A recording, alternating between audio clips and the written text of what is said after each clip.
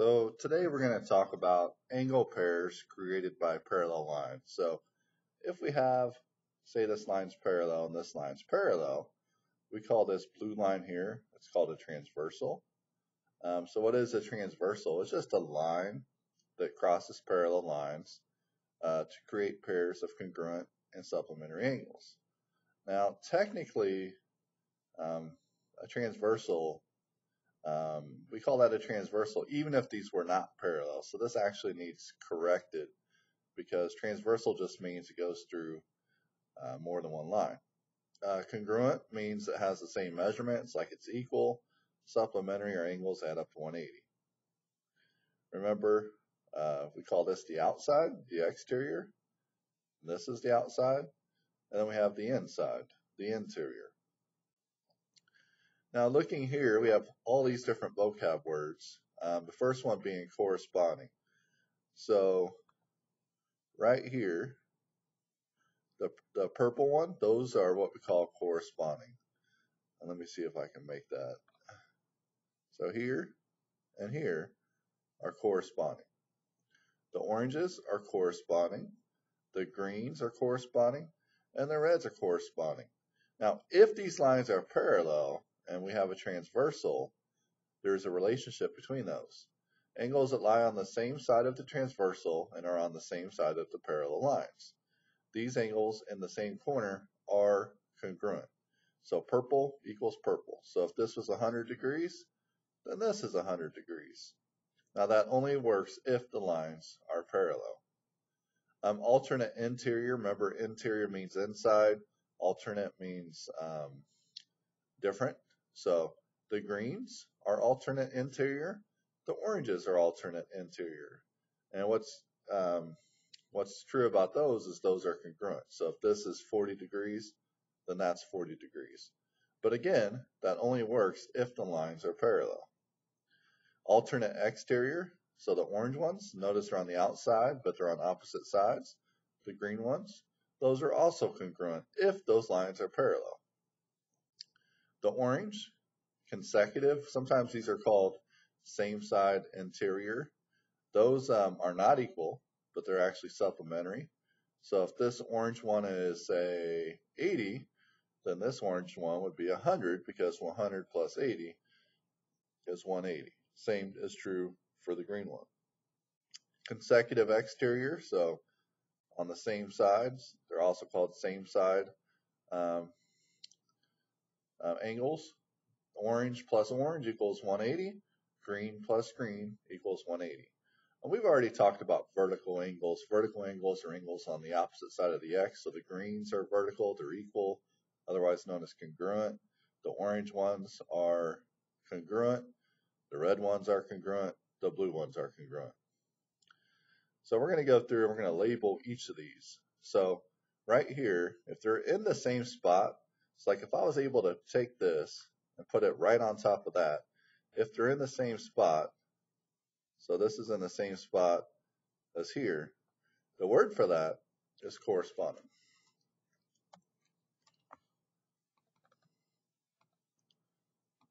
There we go. Here, notice they're, this one's on the outside, that's on the outside, but they're both on the same side. So we would call, I remember outside is exterior, um, and they're not on alternate sides, so we would call that consecutive exterior.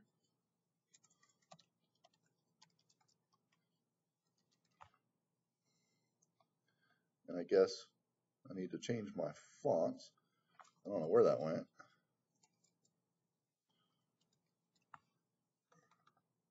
Change that to about 18 give me plenty of room. Here, um, they're in the interior, so I know it's something interior. Um, so they're in the interior, but they're on opposite sides. They're not on the same side. So the word for that is alternate interior.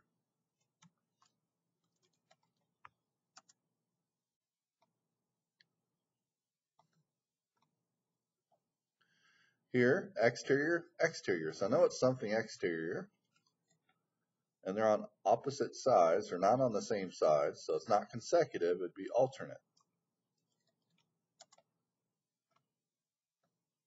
Here, they're both on the interior. And they're on the same side. So remember, same side, the word for that is consecutive.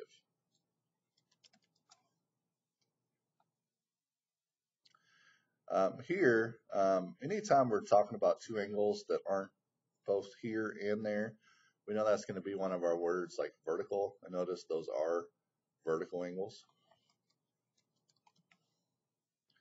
Here, both those angles are on the interior and they're on the same side, so the word for that is consecutive. Remember, when it when we have the word consecutive, that means that um, consecutive, forgot my U. That means that they are supplementary. So those are supplementary. Here, both on the outside, and they're they're both on the same sides. Oh, sorry. Um, this is on the exterior. That's on the interior. So I can't put exterior interior, but they're in the same spot. If I were to pick this up and move it and put it on top of this, they'd be in the same spot. We call those corresponding. Remember, corresponding angles are congruent. Here again, that's vertical. Outside, outside. So it's going to have the word exterior, and they're on the same side. The word for that is consecutive.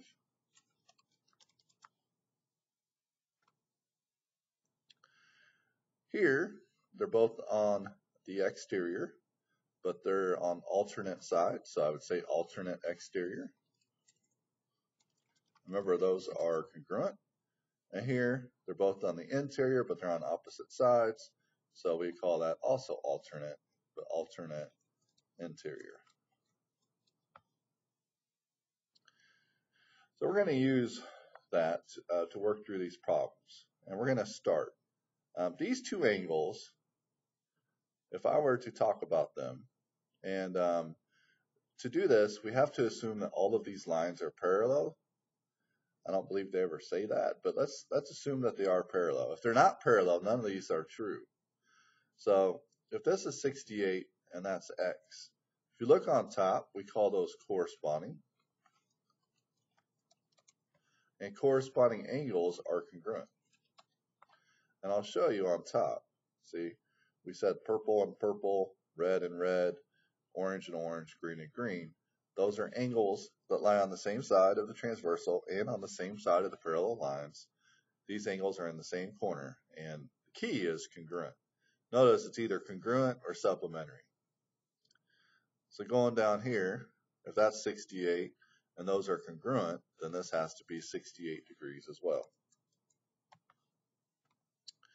Now let's compare this x, exterior, to the 77, exterior. Remember, they're both on the exterior, and they're on the same side, so we call those consecutive exterior. And remember, consecutive exterior, those are always supplementary. anytime you have the word consecutive, and this only works again if this line is parallel to this line. So if that's 77, to find x, I would do 180 minus 77, which is 103. So this is 103 degrees.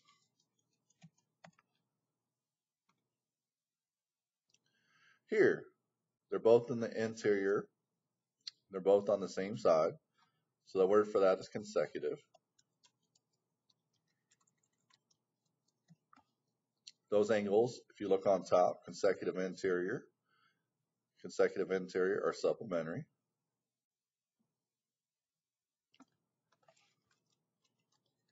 That means they add up to 180. So if I take 180 minus 134, that is about, what, 46 degrees? So x is 46. And I just noticed that we're trying to find the value of the x, so I don't really need degrees because that's the value of the variable. They didn't ask for the angle. Here, both on the inside, but they're on alternate sides, so we call those alternate interior. Now, alternate interior, anytime you have the word alternate when you're working with transversals, those are congruent. So that's 106, that's 106. These angles, even if these aren't parallel, we don't even need this, but we call those angles vertical. And remember, vertical angles are always congruent. So then x would be 120. Here, same side interior, that's called consecutive interior.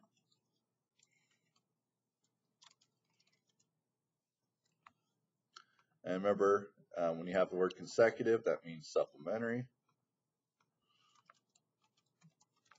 So what's 180 minus 74? That'd be 106. Here, they're both in the interior, but they're on alternate sides, so I call that alternate interior. Remember, alternate interior angles are congruent.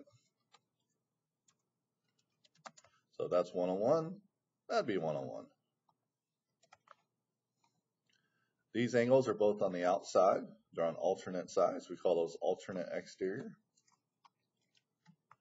These angles are also congruent. So x would be 142. those are the easy ones when it's just numbers. Um, where it gets tricky, and again, uh, we, we have to know, we have to know that these, no, that's not what I wanted. We have to know that those are parallel. So we, we must know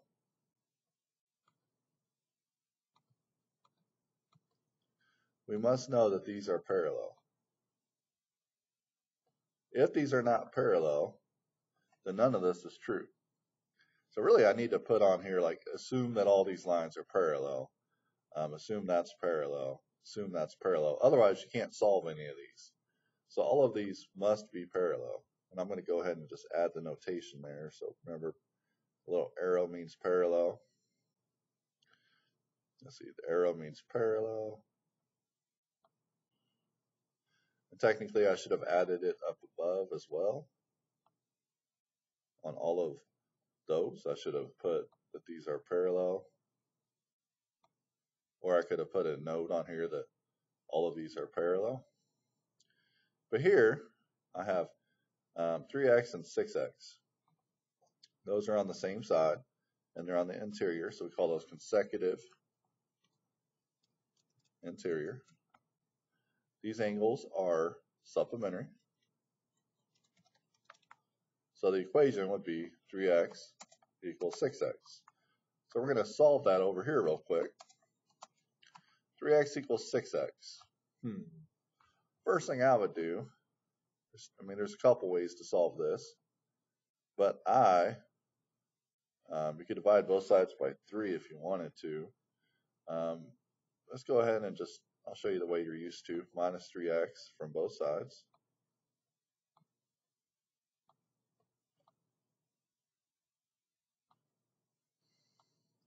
So those go away. But then I get 0 equals 6 minus 3 is 3. So I get 0 equals 3x, and then we divide by 3.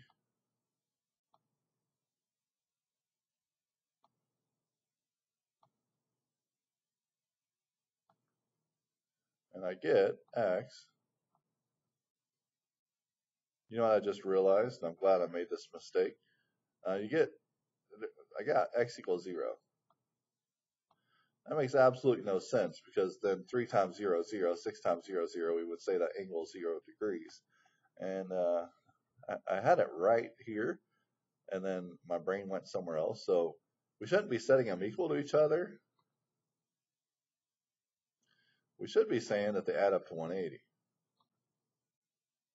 Let's get rid of that. So it should be that when I add those, I get back 180 because they're supplementary. I even put supplementary, then I did the wrong thing. So doing the work, I'd say 3x plus 6x equals 180. But 3x plus 6x is 9x. And then I would divide both sides by 9. And 9 divided by 9 is 1. 180 divided by 9 is 20. So I just found x is 20. So when I plug in 20 times 3 that would be 60 degrees. And 20 times 6 is 120. And Um, so it's going to be 60 for the top one and 120. And notice those do add up to 180. All right, these, they're on exterior, they're on alternate sides, so we call those alternate exterior. Remember, alternate exterior angles are congruent. So the equation would be 7x minus 12 equals 3x plus 28. And then I'm going to solve it over here. Give myself more room.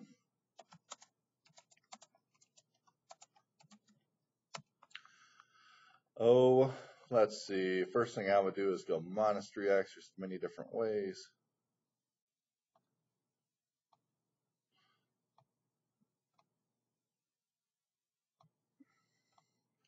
Those go away, and I get 7 minus 3x is 4x minus 12 equals 28. I would then add 12 to both sides.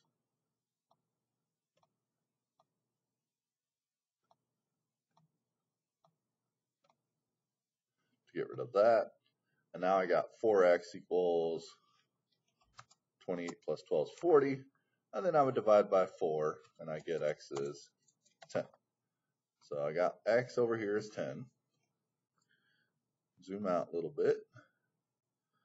So when I plug in here, that's going to be 7 times 10, that's 70. And then I take away 12. See, 70 minus 10 is 60. Take away 2 more, that'd be 58. So this is 58 degrees. I should be getting 58 here as well. 3 times 10 is 30. 30 plus 28 is 58. So what's the anger, anger management? What's the angle measurement? 58. They're both 58.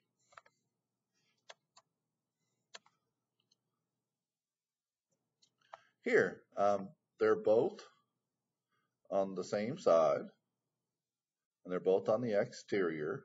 They're not alternate. So we call that consecutive exterior.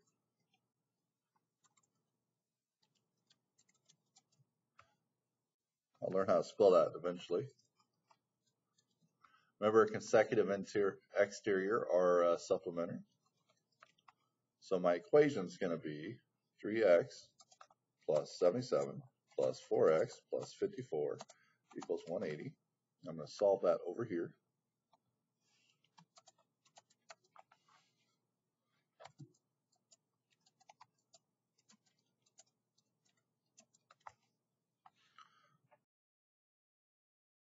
Doing the math, um, I have 3x and 4x on the same side. That makes 7x. 77 plus 54 is 131 equals 180. Line up my equal signs. Uh, from there, I would subtract off 131.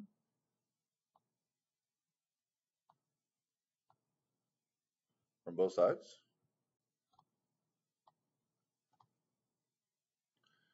Which, let's see, that'd be 69. So I got 7x equals 69. And then I would take 69 divided by 7. And I got 9.86. Now, the value could be a decimal, but I'm going to check my work. All right, looking back, eh, 180 minus 131, that's actually 49. And 49 divided by 7 is 7. So I found my mistake. X is 7. When I plug in here, 3 times 7 is 21. 21 plus 77 would be 98. Here, when I plug 7 in, 4 times 7 is 28. And 28 plus 54 is 82. And notice when I take 98 plus 82, See, 98 plus 2 is 100, and then add on 80 more, you get 180. So the top one is 98, and I should put degrees, but it's really hard to on this program. And then the other one is 82 degrees. Last one. Um, this is on the inside. That's on the outside. The only one that has a relationship between inside and outside is um, corresponding. So those are in the same spot. We call those corresponding. And remember, these angles are also congruent. So the equation is going to be 9x plus 8 equals 4x plus 18. Copy that over here real quick to do my work. Oh, there's many different ways. I would subtract 4x if it were me.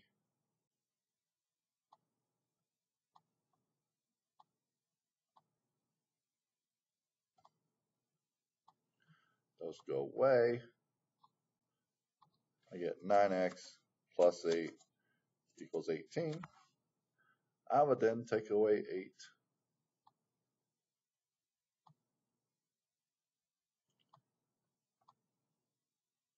To get rid of those. So you get 9x equals 10. And again, I'm about to get a, uh, I'm about to get 0.9. Uh, let's see, I'm going to check my work again.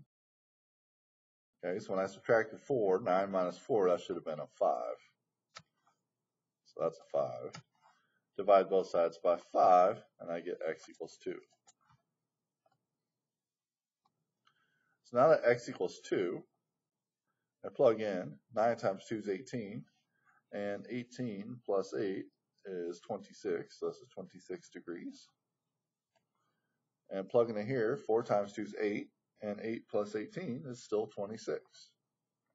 So my angle, angle, angle measurements is 26 and 26 for both. All right, so I hope that helps. These are uh, transversals. I think the key to take out of here is that the angles are either congruent or supplementary. Just want to make sure that you are aware that if these lines are not parallel, then we cannot identify a relationship between those two. So we would not be able to solve this if those are not parallel. So um, it's always important to double check and make sure are my lines parallel? Because if they're not, there's really nothing you can solve for. You would your answer here would be that there is no way to solve it.